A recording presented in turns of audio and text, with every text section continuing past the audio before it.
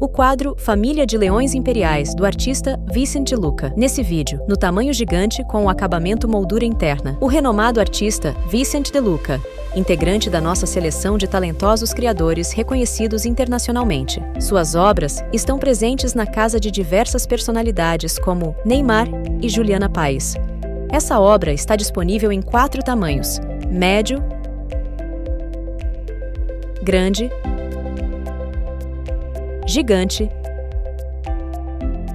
e ultra gigante. Trabalhamos com quatro tipos de acabamentos. Moldura interna. A armação de madeira fica invisível na parte de trás, dando uma sensação de borda infinita. Feito com uma tela de pintura com proteção UV e resistência contra a umidade. Moldura de filete preta.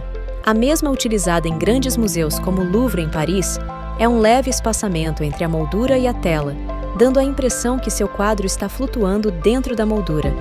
Indo para os nossos acabamentos mais premium, temos as opções: moldura prisma e vidro.